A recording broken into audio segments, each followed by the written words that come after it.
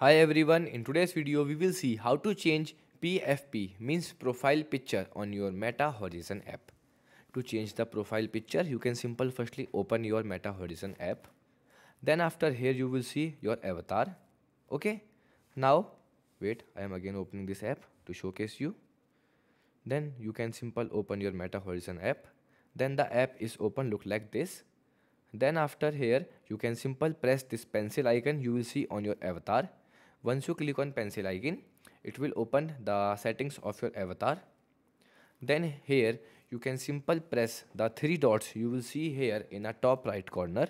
Once you press here you can then simple click on switch avatar to switch the avatar.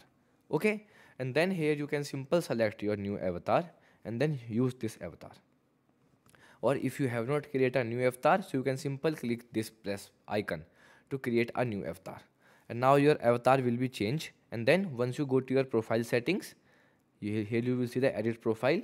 You will see your profile photo. Okay? Is also changed. Also once you click on a profile picture here you will see a two options. First one is your avatar photo and second one is the photo from your gallery. If you want to change your profile picture and then use your original photo from your gallery you can also use here you can simple click on upload photo icon. And now here you can simple choose the photo.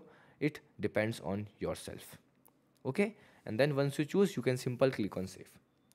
Okay? Or if you want to use your avatar so you can select your avatar and then click on save. So here is how you can simple change your pfp means profile picture. Okay? In your horizon app. Goodbye